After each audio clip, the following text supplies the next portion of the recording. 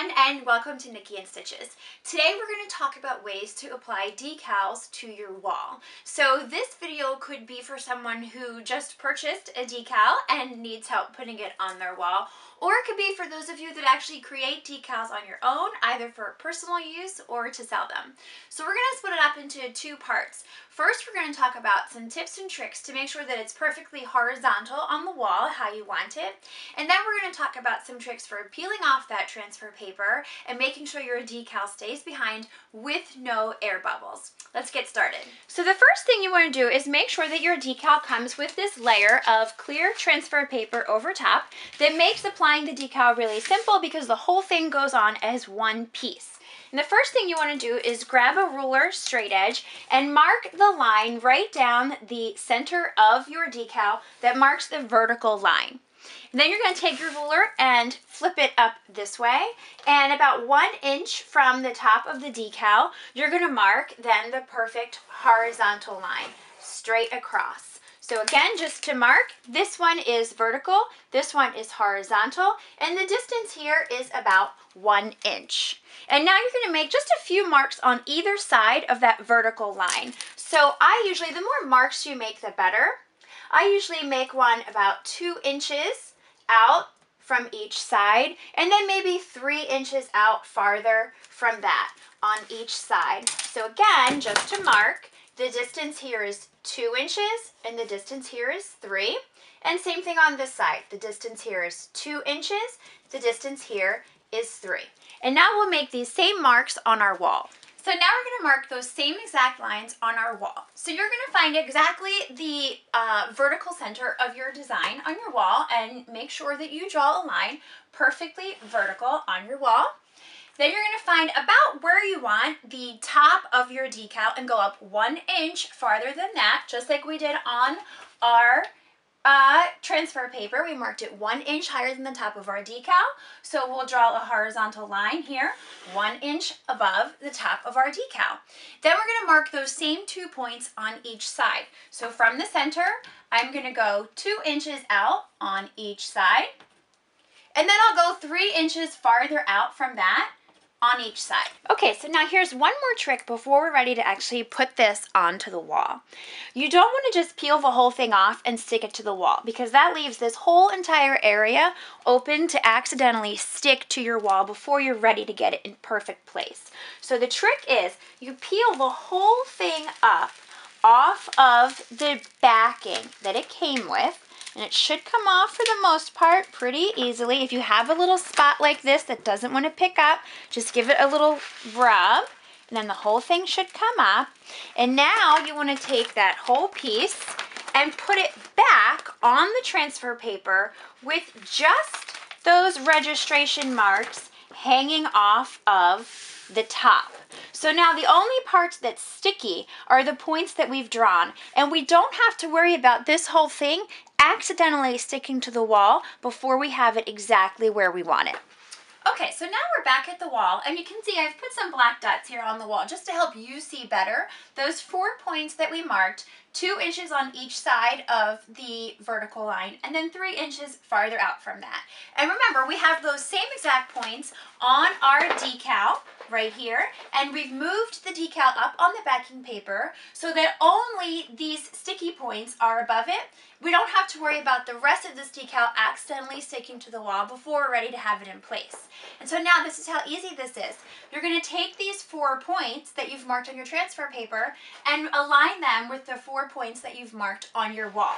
So we're to get them into place and make sure that they fall perfectly over the points that we've drawn on the wall smooth out the top of your transfer paper.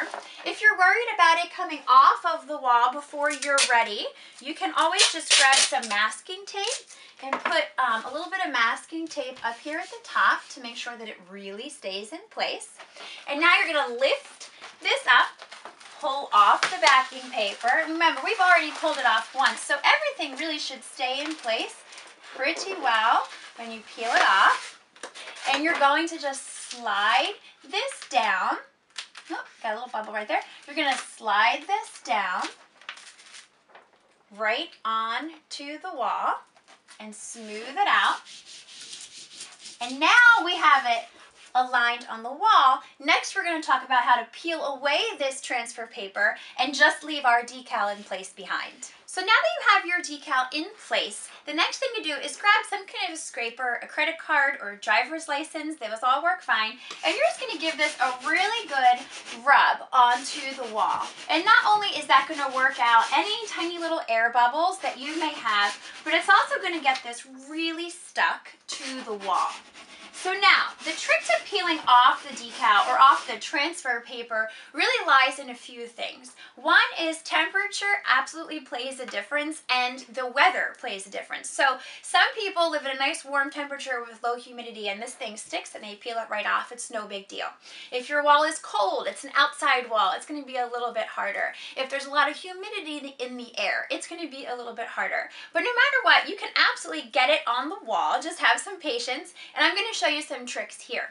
So I'm going to use this same tool that I just scraped these letters on with to actually help keep them in place as I pull the transfer paper off.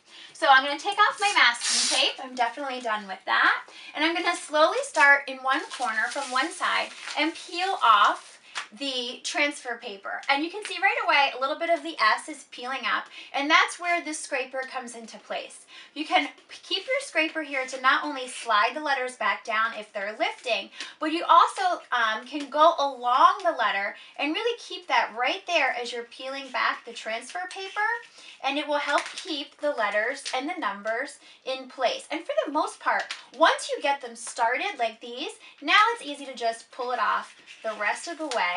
And you want to slow down a little bit at each point where you're starting a new number or letter and just give it a good scrape there and then keep pulling.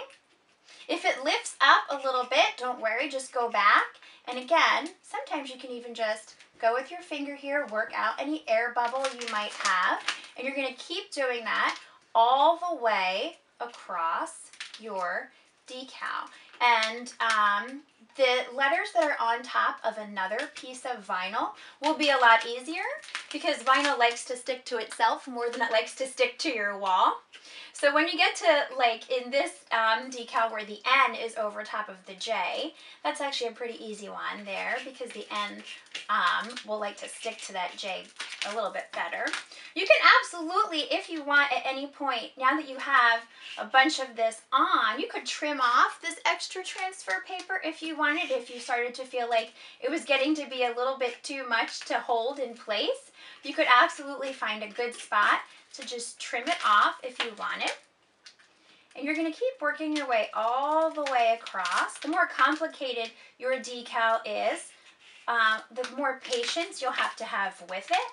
But you'll see that once I get past this little established date, this actually will start to move a lot quicker. And here, like I said, the N is going to really want to stick to that J, so that kind of makes this part a little bit easier. Can you just keep giving it a good pull? Now that I'm um, not on top of the J anymore, though, I should slow down a little bit. And again, scrape these letters as I go, and they'll stay in place. And we are almost there. If you keep that scraper right there at the edge of your transfer paper, they tend to stay in place really, really well. And here it's lifting a little bit. Just give it a little scrape.